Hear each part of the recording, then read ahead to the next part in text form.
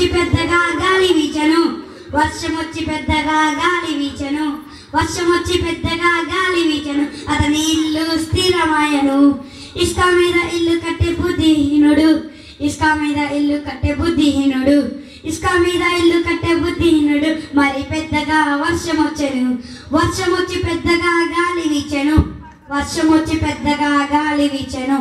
వర్షం వచ్చి పెద్దగా గాలి వీచెను. అతని ఇల్లు